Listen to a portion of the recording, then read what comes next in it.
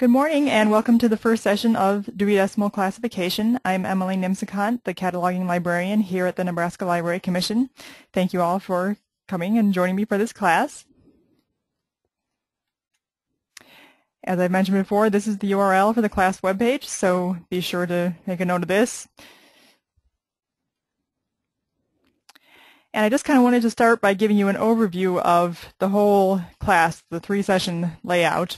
I did want to mention that, as you saw when you signed up, these sessions are designed to last for an hour and a half from 9.30 to 11. Today's session will probably actually be a little bit shorter, probably closer to an hour.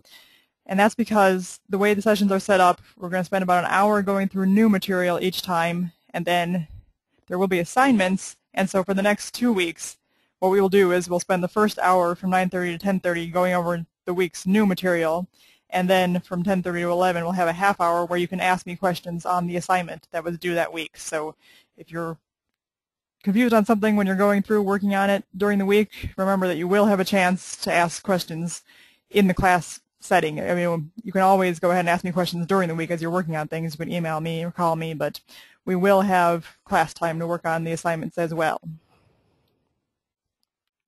So today, session one is just going to kind of be a general overview. We'll talk a little bit about what the Dewey Decimal Classification is, and we're assuming that you have at least a familiarity with the setup of it, but we'll talk about some of the notes that you'll see as you go through the schedules, the idea of subjects versus discipline, manual entries that will help you choose numbers to assign, and then we're going to discuss Web Dewey, which is OCLC's online version of Dewey, and you will get a trial login to use with WebDewey for this class if you don't want to use a print version or if you don't have a print version. Um, then next week in session two, we'll talk more about subjects and disciplines and how to assign numbers for um, items that have topics in multiple disciplines. And we'll get started on the concept of number building. A lot of working with Dewey is using the various tables in order to build numbers. And so we'll work with table one next week, and then session three will continue at the very end of table one, and then tables two, three, and four.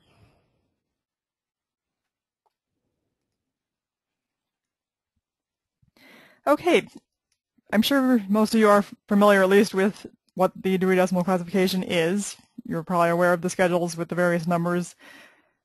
Um, basically, it's issued in a full version and an abridged version. A new edition is issued in print about every seven years. Right now we're on the 22nd edition of the full Dewey and the 14th of the abridged Dewey. And the abridged is what we're going to be focusing on in this class. Let's see, I think I, oops, I actually did skip a slide here um, to give more details on the difference between abridged and full. We are, like I said, we're going to work with the abridged in this class. It has only one volume and just four tables and it's generally appropriate for libraries with 20,000 titles or fewer. And we're talking about nonfiction titles when we give that estimate. The full, which we're not going to be working with in this class, is much more expanded. It has four volumes and six tables, and is appropriate for larger libraries or special libraries that focus a lot on a certain topic, and they need very expanded schedules in order to encompass all of the topics that are involved in their special library. Like I said, they're issued in print about every seven years, but between these editions, there are monthly updates provided online. And then quarterly, the web version, WebDewey and abridged WebDewey, they're updated with these monthly updates. So online is really the way to keep up with the updates more frequently instead of waiting for the next print edition to come out. Here is a screenshot of what the updates page looks like if you go to the OCLC website, and the address is at the top of the screen there.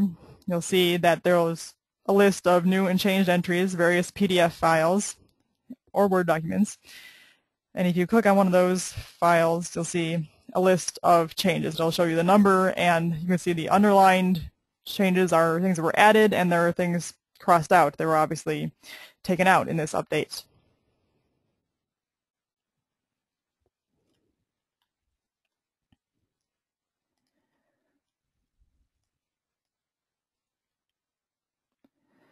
Okay, so the abridged Dewey Decimal Classification has a number of new parts. There is the new features section, which basically tells you what has changed since the last time something came out.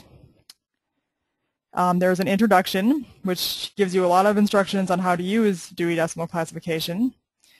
The index to the introduction and the glossary, some more reference material helping you know what you're doing. There's a manual that gives you specific instructions on choosing between two numbers or what you should class at a certain number. There's a section on relocations and discontinuations, which goes into more detail about things that have changed since the last session. There are the tables. As I mentioned, there are four tables in Abridged Dewey, and those are used for number building. Then there are the summaries of the schedule that give you the brief breakdown of each of the classes. The schedules themselves, where you find the numbers and it tells you which each one is used for.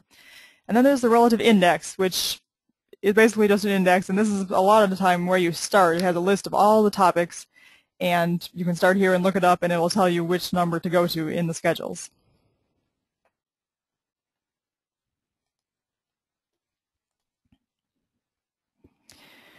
Let's talk in a little bit more detail about the introduction. In a lot of books, you know, you kind of think the introduction is sort of material that you can skip over, just general introductory material that isn't that relevant to the rest of the material, but in the case of Dewey, the introduction is very important. A lot of instructions are given here that tell you what the heck you're doing when you want to assign a number, so if you are unfamiliar with Dewey and you're new to working with the numbers, I would greatly recommend reading the introduction. That will give you a lot of information about what you need to do, so do not skip the introduction in this case you know, on the last slide I mentioned that the introduction has an index to itself. It's obviously, it's long enough, it has enough good information in there that it needs an index. So just remember the introduction equals instructions and you should not skip it. It is very important to learning how to work with Dewey. It tells you things like how to use the different parts, how to choose between numbers. Instructions on building numbers with the tables are included in the introduction. If you need more information beyond this on using Dewey, there are other publications that will tell you how to use it, and there's a handout on the class webpage entitled Dewey Decimal Classification Resources, and I would recommend consulting that as well.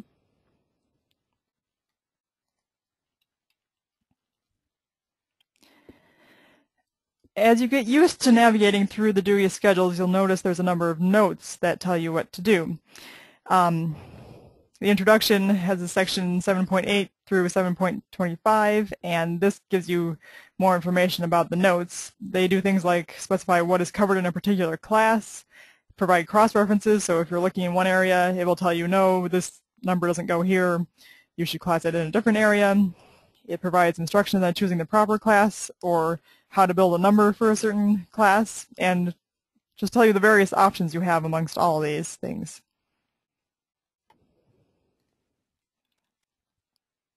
Here's an example of a page from the print version of Dewey, and there are several notes included on this page. Things like see also, see the manual, it'll give you a cross-reference, it'll tell you what to class here, and different numbers to class things in.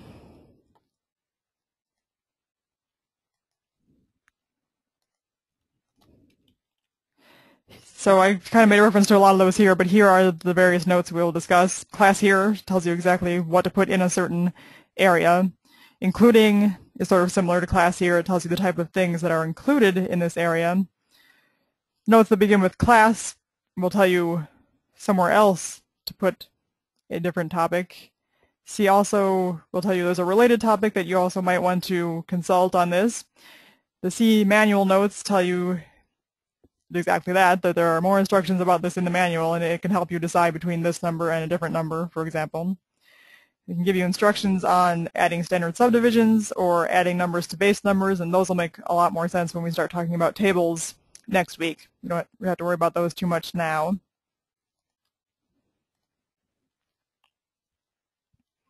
Any questions on anything we've covered so far?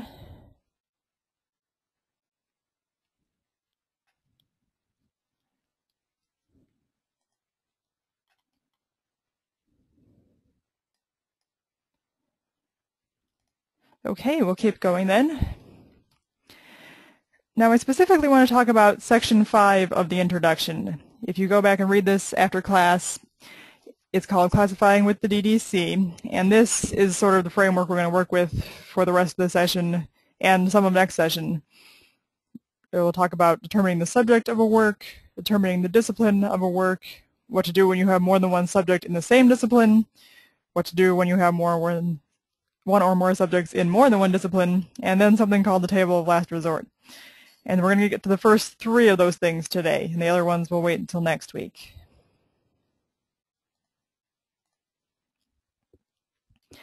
Okay, the subject, straight out of Dewey, a direct quote is that it is an object of study, also called a topic. It may be a person or a group of persons, things, a place, process, activity, abstraction, or any combination of these. Basically, the subject is what the book is about. It is a topic. If you have a book on taking care of your dog, then dogs is the subject. It's a very concrete way of representing what the book is about. And it's a little bit hard to grasp the difference between a subject and a discipline, but a discipline, Dewey's direct quote definition is an organized field of study or branch of knowledge. He gives the example of religion, physics, and criminology. And the way I think about it is that discipline is sort of more of a way of approaching a topic whether, as opposed to the subject itself. Um, for example, to go with the subject of dogs, um, a book about dogs could be approached from the discipline of zoology if it's a very biologically based that just tells you a lot about the biology of dogs. But if it's a book about caring for your pet dog, that would go in the discipline of animal husbandry, and a subset of that is pets. So there would be a different number for a book about dogs. The subject is still dogs, but it could be a different discipline that might determine the subject or the, the number you choose if it's the discipline of zoology or the discipline of animal husbandry. Any questions about the difference between subject and discipline?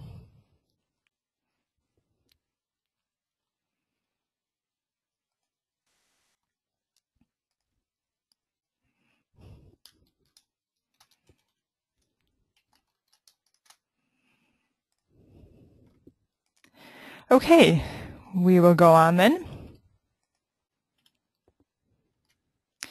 So it's easier to wrap your brain around this when we start actually trying to do an example of it. So we'll this will help both give examples of the difference between subject and discipline and start to give you an idea of how you navigate Dewey. How do you start trying to find a number for something? And so let's pretend that we have a book called Ciphers, Breaking the Code. It's obviously about codes and ciphers. So whether you're using the print version or WebDewey, you would start by going to the relative index. In the print version, the relative index is going to be at the back. Here's a screenshot of what it looks like. Let me Get my highlighter out again. And let's say we're just going to go with the title. You know, it's not always easy. The examples in this class are going to be a little bit artificial because we're just looking at titles and we don't have the book in front of us to see more about what it's about. But Starting with the title, we'll look up ciphers in the relative index, and we'll see that it tells us that it's part of cryptography and directs us towards the number 652. And so we go and look up 652, and you'll see that the number is for processes of written communication, and we'll see that cryptography is mentioned here. It gives us some instructions that says interdisciplinary works on cryptography are here, sort of general works, but if we have cryptographic techniques used for a specific purpose, it tells you to see the number for the specific purpose. For example, if you're talking about security in computer systems, it will be classed with the number for computer systems.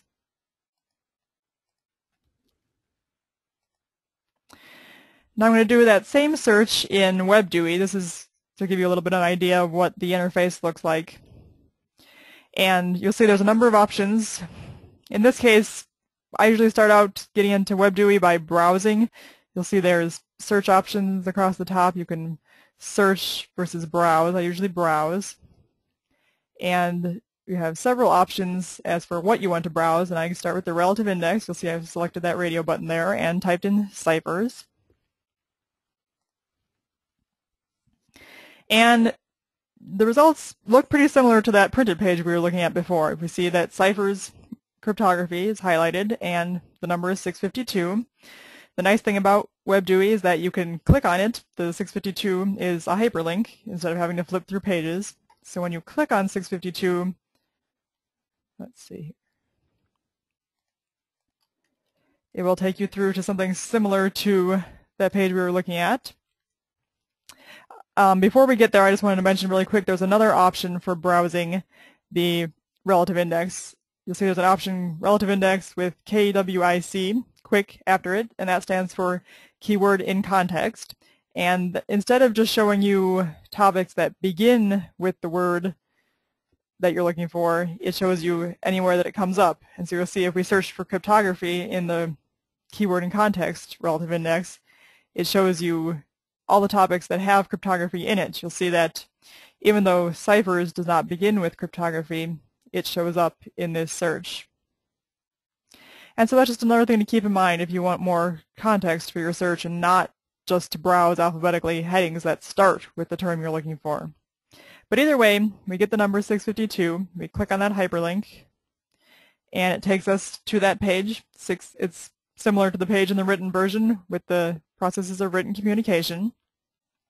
And again, something to get used to with WebDewey is that the notes are down below.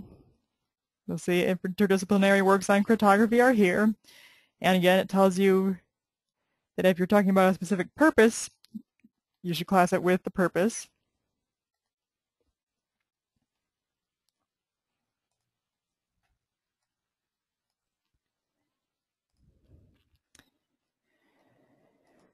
So if we just had a general book about cryptography in general, and again, this is where it's hard to tell from just the title, but we'll pretend like we have just a general work on cryptography, we would class it with 652. Now there are other options. Like I said, this note tells you that if it's for a specific purpose, you might want to look under that purpose. For example, if you were talking about security in computer systems, you would go to that 005.8 there's a link down there. And if you click through on that, it takes you right there. And it tells you that data encryption is classed here. And it also kind of refers you back to that 652. If you might be looking here for a general interdisciplinary work on cryptography, it tells you, no, this doesn't go here. You can see there's a reference to 652 there as well. But if we had a work about computer data encryption, we could put it here. And so you can see this is sort of getting at how the same subject can be treated in different disciplines. If it's from the discipline of computer encryption, then cryptography will go in a different number class than if it's just a general work cryptography.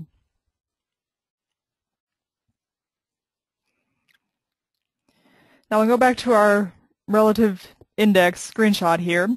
And you see there's also an option for cryptography recreation. And that has the number of 793.73. So if we click through on that, you'll see that it's under puzzles and puzzle games. And, you know, so what we're talking about here is codes just for fun, just for people trying to break codes as a form of recreation rather than code breaking for security purposes. So if you had a book about that, that is yet another option. And another thing to mention about WebDewey is if you scroll down further on the screen, you'll see that there are some subject terms and the relative index terms that you can kind of look at and get an idea whether this is the right topic you want to be in or not. So if we had a book about ciphers, just puzzles for recreational purposes, having fun, we might put it in 793.7.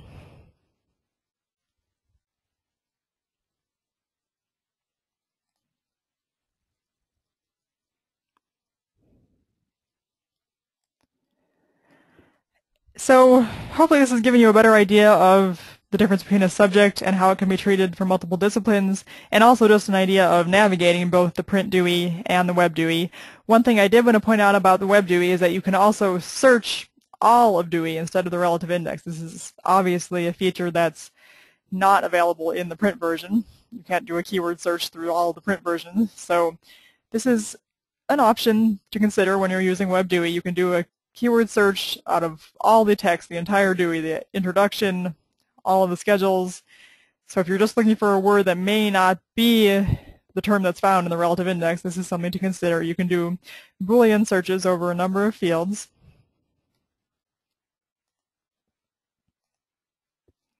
So for example, if we did our search for cryptography, you'll see some of these fields come up and you won't see the term cryptography in any of these headings. But they all should look pretty familiar because they're ones that we have visited for the most part in our last search for cryptography. For example, you know, if you look at the first one, the 003 systems, it doesn't have any hint of how it relates to cryptography in the actual title. But if you click through,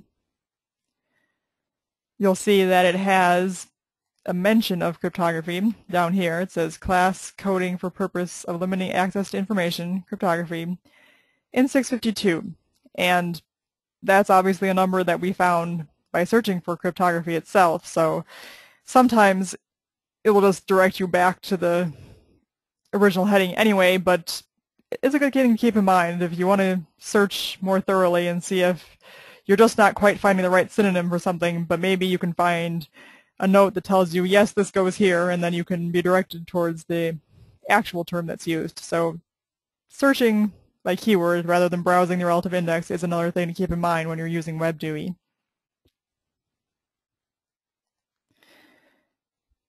Any questions about that so far?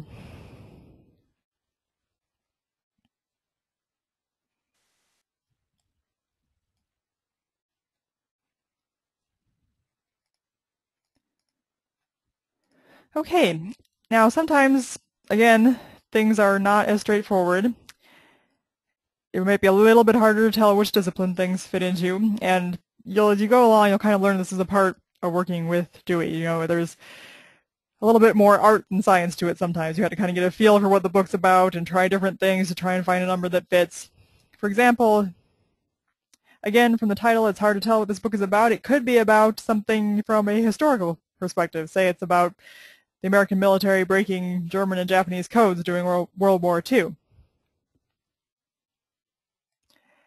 And so the results that we've looked at so far for cryptography don't say anything about a specific time period or a historical approach to something. So we might want to try a totally different tactic and search for World War, browse for World War II in the relative index. And if you do that, you'll see it directs you to World War II, 1939 to 1945, and the number is 940.53. And if you click through on that hyperlink, it will take you to the numbers for this. You'll see that this is the general note for World War. However, there is, again, something you just kind of have to get used to as you go through working with Dewey, is that there are lots of notes, and the notes will sometimes direct you to a another number, so don't ever take a number for granted until you've looked at the notes. And you'll see down here there's a note that tells you that military history during World War II should go in 940.54. And so since, you know, we're talking about the military, let's just assume that this book is about the military breaking codes during World War II we probably would want to go with military history of World War II here.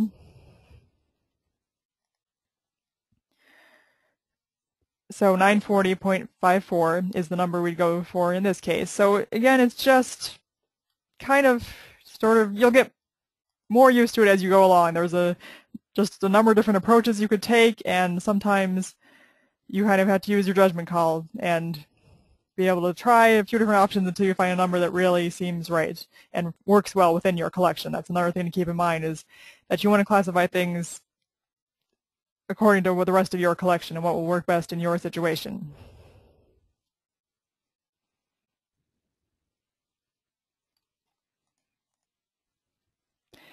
Now there's could be from a entirely different perspective. It could be about computer hackers and how they break codes and their actions and consequences.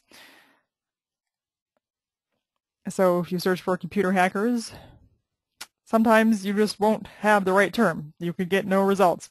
That's another thing to know about navigating Dewey is that sometimes it's a matter of finding the right words to use. You kind of have to keep guessing and using various synonyms, and you might have to try a few different things before you can come up with a term that is used in the relative index. And also you'll notice here we're searching through all fields and not just in the relative index because this is kind of, if you're less sure about the term you're using, you might want to go ahead and search and just see if it comes up anywhere. So instead, we could probably try something like computer crime. You'll see that that is mentioned. We've got a couple of different options here, criminal offenses and then the more specific offenses against property.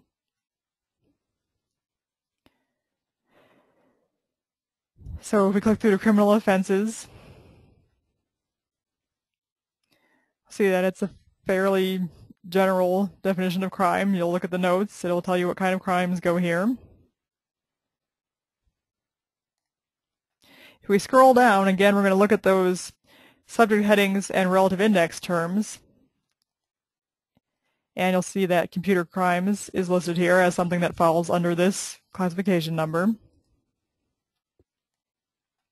Now, if we look at that second option, the crimes against property, it's a more specific number, a subdivision. And you can see that computer crimes is a subject heading under this one as well. So it would probably depend on what exactly the crime was discussed in this book. If they, the criminals just access databases to get information, you probably use 364.1, but for example, if they install, install viruses and cause property damage, you could probably use the more specific 364.16. Does anyone have any questions so far on assigning numbers and navigating Dewey?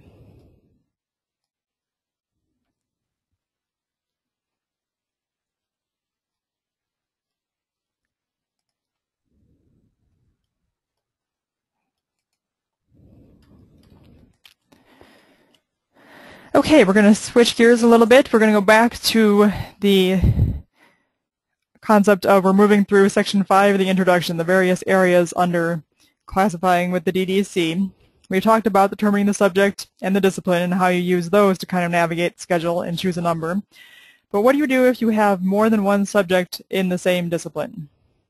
For example, if you have a book that's about both cats and dogs, do you class it with cats or do you class it with dogs? Well, there's a few rules that you follow, so we'll go through those. And this is all found in Section 5 of the introduction. There are actually five rules for dealing with more than one subject in the same discipline. The Fuller treatment rule, the first of two rule, the rule of three, the rule of zero, and the rule of application. And we're going to go through those one at a time.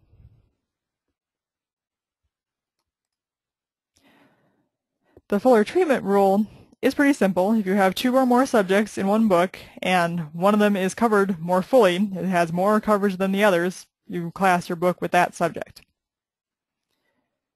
So let's do another example here. Say we have a book called Schooling Alternatives, and it contains information about parochial, private, and homeschools, so that's three different subjects in that book. The parochial school material has 40 pages, private school materials 35, so they're about the same, but the homeschool material has 82 pages, so it's clear that homeschool has the fuller treatment in this book. So let's look up homeschool. We'll browse it in the relative index. You'll see it is a topic listed in the relative index, and it directs us towards 371.04. we see that the number 371.04 is for alternative schools, but we want to, we'll check the note. It says including homeschools and homeschooling, so we know that this is where we want to be for homeschools. Now it is important, like I said, Dewey has a lot of notes that tell you exceptions to the rules, so it's important to kind of get used to navigating through the hierarchy to make sure you're in the correct discipline, read up and down for instructions, so we are in the education discipline. We look up here at 370. And so we go up a level to check for notes and instructions that might contradict the more specific number. So alternative schools, the 371.04 is a subset of specific kinds of schools.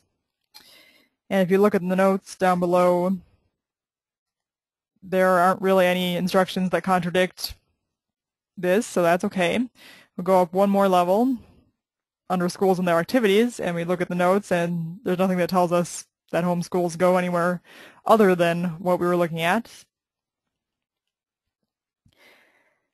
And the highest level education has no notes, but if we clicked on that 370, you'll see there are some notes here. There's a table of preference that tells you the order in which you might want to assign numbers. We'll get into table of preference more later, but there aren't any instructions that contradict our note about homeschools. Here's again just a fuller shot of that table of preference. So we know which number to use for homeschool. Just for the sake of learning how to navigate the schedules, let's look up the other numbers for the other types of schools talked about in this book. Going back to our original screen, you'll see that the number for religious schools is 371.07. That's over here. If you click on that, Christian religious schools, or parochial schools, are 371.071. And there's no more notes under there that tell you there's no more subdivisions or anything, so this would be our number for parochial schools.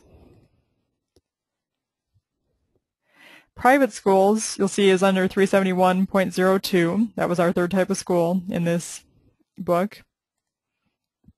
And there's no further subdivisions under here. So our three options for topics here are private schools in 371.02, homeschools in 371.04, and parochial schools in 371.071.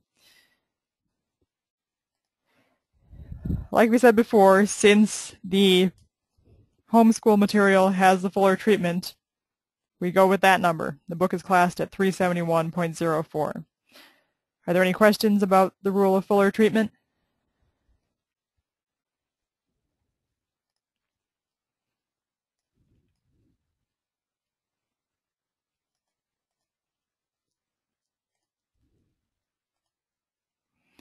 Okay, we'll go on to the next rule then. It's called the first of two rule. And this rule comes into play if you have two subjects and there isn't one that receives fuller treatment. When you have, they're pretty much treated the same. And so the direct quote from Dewey is, if two subjects receive equal treatment and are not used to introduce or explain one another, class the work with the subject whose number comes first in the DDC schedules. So that's why it's called the first of two. If they're treated about equally, you go with the one whose number comes first. Now there's a couple of exceptions to this. This is one of the things you'll learn about Dewey. There are exceptions to pretty much everything. There's usually the unless instructed otherwise exception, which means that if you have instructions for a particular number that tell you to do something different, then you go with that. And the other exception with the first of two rule is that if the two topics are the only two major subdivisions of a subject, then you don't use the first of two rule. And we'll give an example of this later on that will make much more sense than it does right now, I'm sure. So again, it makes more sense to look at an example. Let's say we have a book called The Waves of Sensation. It has a book about information about light waves and sound waves. And you'll see that light has 82 pages, sound has 79 pages, so they're pretty much the same. So I would not use the rule of fuller treatment in this case. So we have to look to see which one comes first. If we look up light in the relative index, we'll be directed to 535. You can see that it's a subdivision of specific forms of energy. If you look up sound in the relative index, you'll see that it's 534, which is also a subdivision of specific forms of energy. If you go up one level from either of those to look at the specific forms of energy heading, you'll see that there are five different headings underneath. So that means that light and sound are not the only two subdivisions. If they were the only two subdivisions, we would handle this differently, but they're not. So the first, this is a situation where the first of two rule would apply. And so you go with the one that comes first. So sound was 534 and light was 535, so we're going with sound because it comes first. So this book I would class at 534.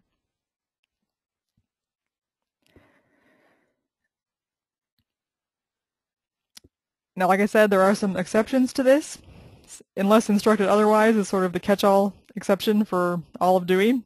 There are several numbers that have kind of their own instructions, so when you find a number, always be sure to read the notes underneath it, see if it tells you to do something different than the general rules. Let's look at some instructed otherwise examples here. Say we have a book called Thank You Notes for Children. that has examples of thank you notes for children to write for different situations. Now we can pretty much be sure that this goes under etiquette. We'll say we've done a search for etiquette in the relative index. And normal, and you, you know, there are a couple different options we could go with. There could be social correspondence because these are notes, they're written correspondence. But since we're talking particularly about children, we might want to go with etiquette for age groups and sexes. You'll see that's an option there under 395.1. And normally, according to the first of two rule, we would go with the one that comes first, but you want to check and see if there's an instruction that contradicts it. And in this case, you'll see there is a note. It says, class is subject with aspects in two or more subdivisions of 395 with the number coming last. So that is an exact opposite of the first of two, two rule, but it's a situation you have to look out for. If there are other instructions right here in the schedules with the numbers, then they take precedence over those general rules. So in this case, we would go with the one coming last. But let's just go through and look up both of these. We see that Etiquette for age groups and sexes does include children, so we know that's one of the numbers we should be considering. And social correspondence does seem like the one we should consider for thank you notes. It has written and spoken styles and forms of address. So again, if we were following the first of two rule, we would go with the one that comes first, but since the directions tell us to go with the one that comes last, we're going to go with that. So that's 395.4 for social correspondence. Any questions about why I made that exception?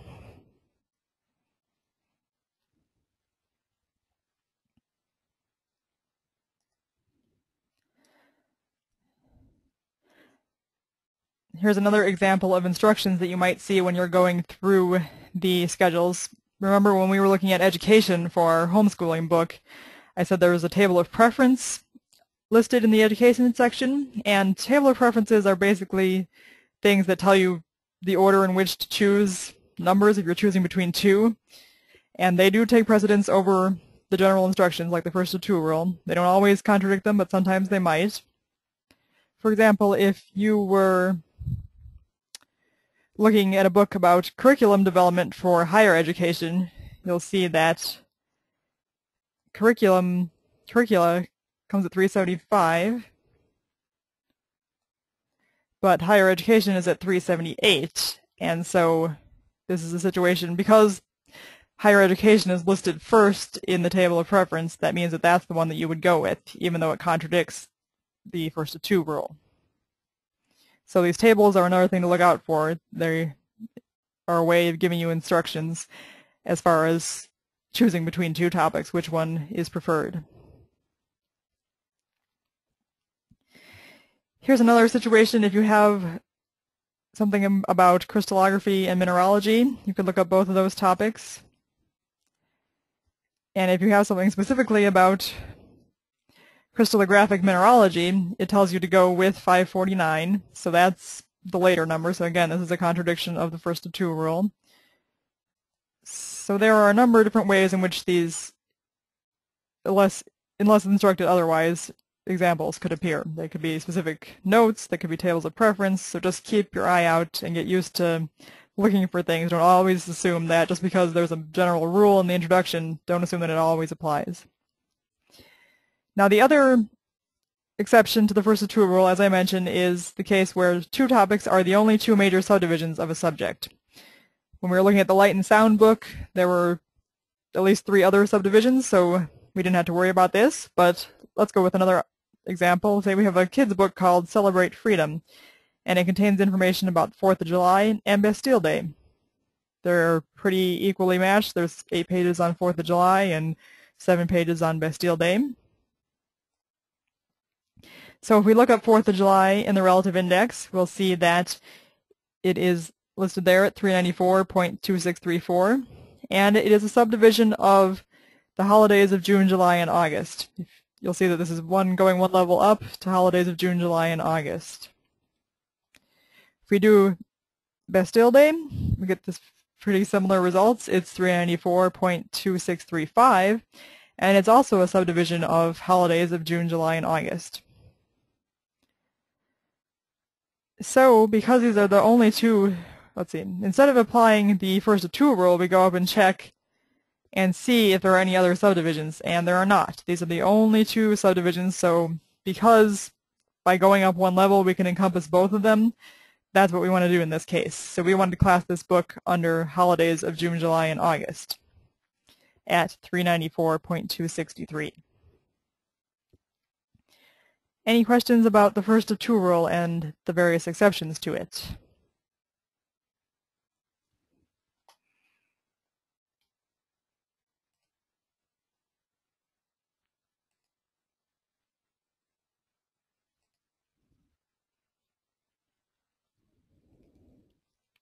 Okay.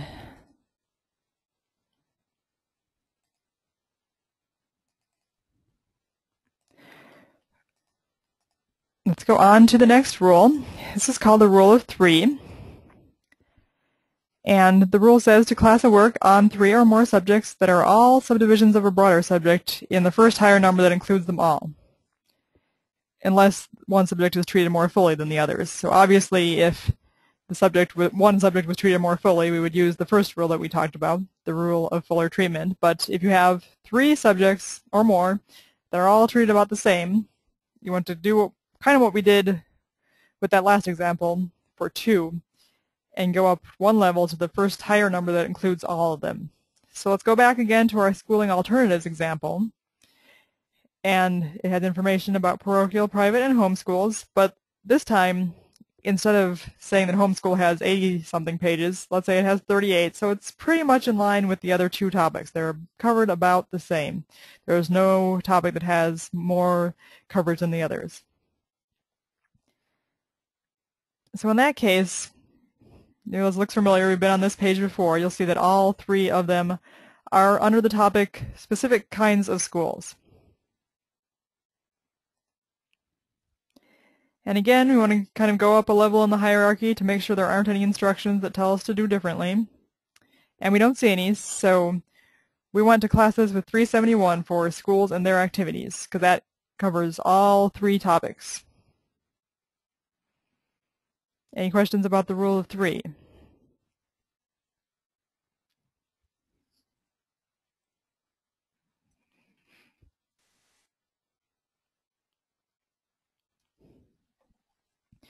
Okay. Another rule, this one you probably won't see as often, but we'll just touch on it briefly here, called the rule of zero. And basically, the rule states that you prefer subdivisions numbered 1 through 9 over 0, or prefer subdivisions with one zero to those with two zeros. And it kind of sounds abstract the way it's stated, but basically what it means, choose a number as specific as possible. And this helps if you look at an example, if you have a book on Eastern philosophy, let's say you look up Eastern philosophy in the relative index, and it directs you to 180, one of the things you might come across is 180, where it says ancient, medieval, and Eastern philosophy, but then you'll notice that 181 is just Eastern philosophy by itself, so you definitely want to go with 181 because it's more specific. And so just remembering that you would choose a number with a 1 through 9 over 0 is basically just a shorthand way of remembering that you want, always want to go with the most specific as possible number.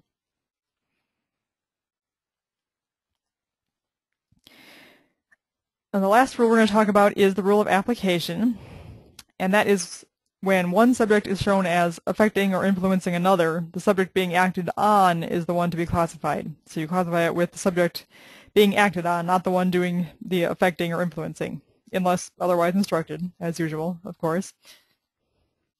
So let's say we have a book called Nuclear Fallout, How the Atom Bomb Changed World Politics. So in this case, world politics is the thing being acted on. So we want to go with world politics for the topic.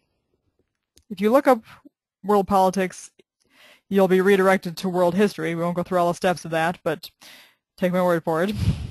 And so you'll see we end up at the topic for world history, and there's a number of different time periods to choose. So we'll click on that specific historical period since 1700. And then the nuclear bomb is obviously in the 20th century, so we want to go from 1800 on. And you've got a couple more specific choices there. So we want to go with 20th century, 909.82. And there's no more specific subdivisions under this, so that's the number we want to go with. So because we're classifying with the topic acted on, we'll classify with world history in the 20th century at 909.82. Now, as usual, like I said, you'll get really used to seeing the phrase unless otherwise instructed, and you have to remember to be on the lookout for instructions that contradict these rules. So let's do another example. You have a book about pop culture's influence on children. It talks about the influence of television and movies on children. So you probably want to look up both of your topics, children and media, and then look up the notes to see if there are anything that tells you to contradict these rules. And normally we would say that children are what is being acted on here, so we'd want to class with children. And we'll see that there's a subdivision under media for history and description with respects to kinds of persons. If we click on that, you know, children are a kind of persons, so it says to class here the effect of mass media on specific groups. So this is an instruction that contradicts that rule of application. Even though media is the thing doing the influencing here, this is the case in which you would class your book here instead of with children. And so 302.23 is the number, and there's also a specific subdivision you can use to specify that we're talking about children instead of just people in general. And we'll talk more about that next week because that gets into the tables and standard subdivisions. But for now, we'll just say that even though media is the one doing the influencing, this is a an example of unless otherwise instructed, and we are going to follow that note and class it with media. So those are the five rules that you use when dealing with more than one subject in the same discipline. Does anybody have any questions on these?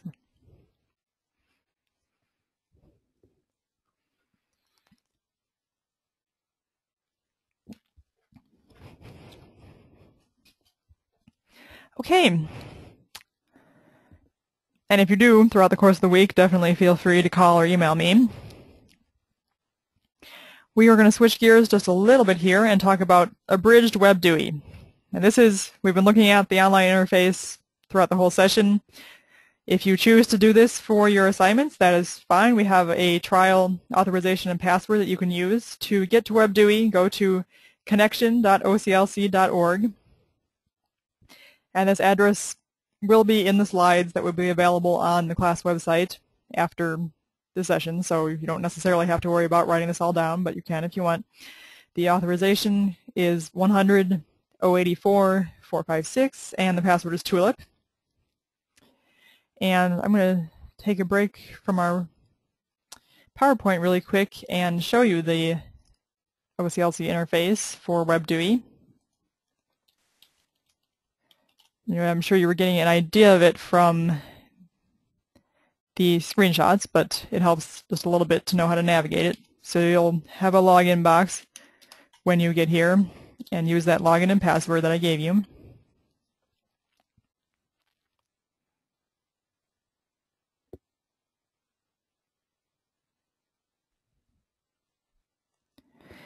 And this is the screen you'll see when you log in and we want to go to Dewey services up at the top of the screen. And you'll see that abridged WebDewey is where we're at, and that's where you want to be. What you'll see when you first come to the screen is the search screen, and if you want to search keywords through all of Dewey, you can do that. Um, if you want to get to what we were doing for most of our examples and browsing the relative index, I would click on Browse up here, and then you'll see you have various options, the relative index, the relative index with keyword and context. So you can type in your search term and browse. For example, this is our search for cryptography, and then, like I said, the numbers are all hyperlinked, so it will take you to the exact spot in the schedule where you want to be.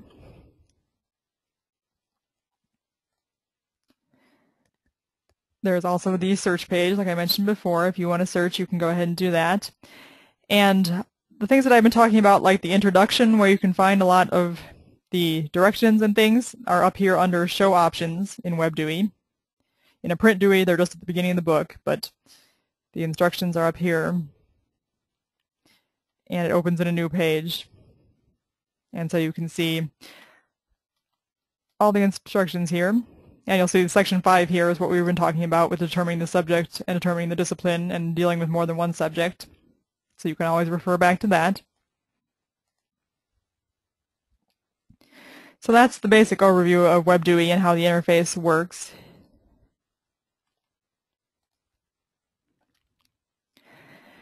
So that is all of our material for this week, unless there are any questions. You do have an assignment that will be due by 8 a.m. next Tuesday, so right before this next session starts. It will be up at that class website address. If you have any questions throughout the week, please feel free to give me a call or send me an email. Um, the assignments are submitted via email, so you can go ahead and email them to me. The next session will be June 15th, same time, 9.30 Central. There will be the handouts, the slides should be up on the web prior to class on that same class website. And we're going to talk more about dealing with more than one subject in more than one discipline, the table of last resort, and we will start the topic of number building with table 1.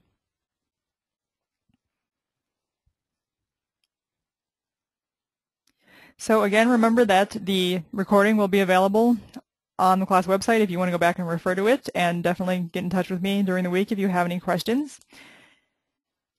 If there aren't any more questions at the moment, then thank you all for joining me, and I will look forward to seeing you next week.